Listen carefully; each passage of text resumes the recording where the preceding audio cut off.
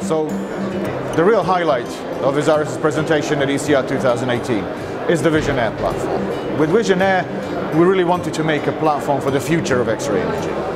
A system that will seamlessly transform between different needs for every potential customer. Okay, it's an, um, a high-performance X-ray radiograph imaging system at the moment that is ready for development into much higher uh, level of capabilities.